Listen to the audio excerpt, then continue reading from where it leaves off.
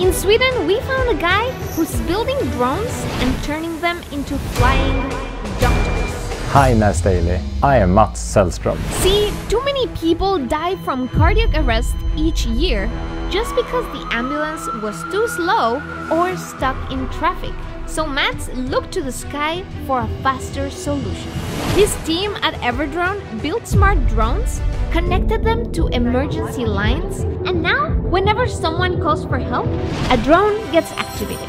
It finds the fastest routes and drops this an automated external defibrillator.